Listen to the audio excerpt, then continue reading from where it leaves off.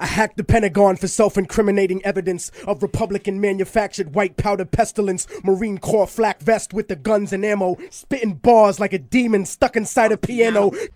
YouTube, salute. All right, so Stephen A. Smith, he goes at Kyrie Irving and Dwight Howard for boycotting NBA return. So if you're new to my channel, please hit the subscribe button, click the bell icon to be notified when I upload new content and go live. Also cast your vote for Kofi's Hip Hop Hall of Fame. The link is in the description. So if you don't know by now, Kyrie Irving and Dwight Howard were all over the news this past weekend. They expressed concerns with returning um, to the NBA and continuing um, the NBA season that's going to be held in Orlando, Florida now.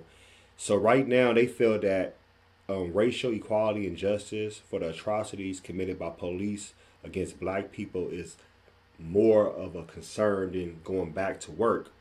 Stephen A. Smith, he was on Get Up this morning and he voiced his opinion and told Kyrie and Dwight Howard they were ill informed on the matter. And he feels, he said that Racial inequality won't evaporate tomorrow, that the years and maybe even decades of work must be done to eradicate white supremacy. White supremacy, excuse me. With this in mind, he also feels that to cancel the season is um, as a form of protest is something they shouldn't do, and they should just go out there and just play. And the reason why they should play is because them stopping this season is not going to um, is not going to end white supremacy tomorrow and people have been doing this and been doing this and been doing this, you can actually play in the NBA, play this season, and still have some type of social reform going on. All right, so let me jump in right now. Stephen A. Smith, like this, I mean, it's always like a weird situation with him. Like one minute it's like, damn, he's saying some good shit. The next minute he's saying some dumb shit.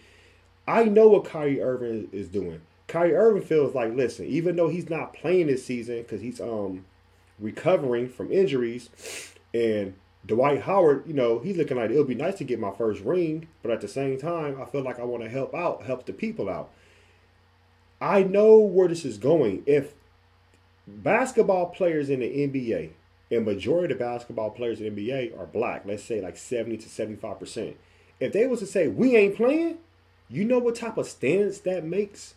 That makes a big, big, big leap to say like, wow, they're not going to play, you can hurt these white owners' pockets.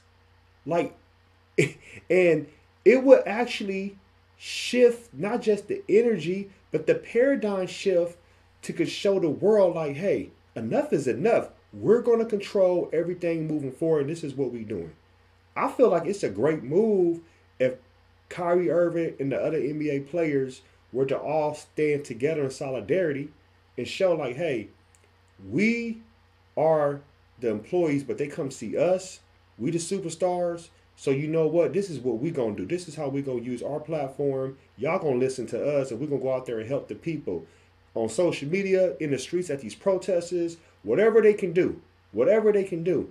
And I feel like that's a great move. Like I said, I'm 50 50 with the, them going back to the NBA. If they go back, I understand some of these people have families they want to feed, so I can't be mad at them on that level. But at the same time, I think it's a big step. It's a huge step. Look at Ali. Look at Jim Brown. Look at Colin Kaepernick. You know, look at um Tommie Smith in the Olympics and stuff. All these people that took a political stance, they used they used a platform for a bigger and better cause. And when I see this, I love this because it just shows as a black man, especially dealing with it, dealing with this um American society, is like, yo, we're gonna fight back. And I, I Stephen A. Smith is easier said than done to tell them to go back to work. It's like if you was putting your shoes, putting their shoes, excuse me, I know he he will go back to work. He's he's he's he's not that he's not built to say no. He's not built to ruffle feathers to go against the grain. That's not his mo. And I ain't mad at him not being this MO because everybody don't need to be doing something they don't need to be doing. Kyrie Irving has always been um, very eloquent when it, and his stance is like, you know, I'm going to say what I need to say. He's not scared to say what he wants to say. A lot of people are scared to speak up because they know what comes with that. They knows they can be blackballed. You know, it, it, and he don't care. He looking like, you know what? I'm a, I'm gonna speak my speakers. If I don't, then it's like you hurt not just yourself your family, but you hurt your fans because the people looking up to you and you showing other young black men out here like, yo, wow, Kyrie Irving speaking up, dang, like you know, you put to lead by example, especially when you're in this position because people are, like, oh, they're not heroes, they're not mentors. Yes, they are because somebody wants to be like Kyrie Irving. Some of my clients I train mention Kyrie Irving. They like he's my favorite player. They love him. So when they hear and see Kyrie Irving making moves like this, they want to do the same thing. Like, wow, I want to stand up and be strong like that too. Like my dad used to always tell me, if you ain't gonna stand up for nothing, you'll fall for anything. Like you have to take a stance regardless if it's going against your own family, your friends. If it's something that makes you feel good, it's something that you can be happy about at the end of the day when you go to bed at night and you can look at yourself in the mirror and say, I'm glad I did that. Let me know what you think. Are you do you agree with Kyrie Irving or do you agree with um Stephen A. Smith? Post your comments below. Hulk smash Black Panther the like button, subscribe to my channel, click the bell icon to be notified when I upload new content and go live. If you'd like to support and donate to the channel, I have Patreon on patreon.com forward slash Kofi Universe. Venmo, Cash App, PayPal, Streamlabs, everything's in the description. Until next time, peace.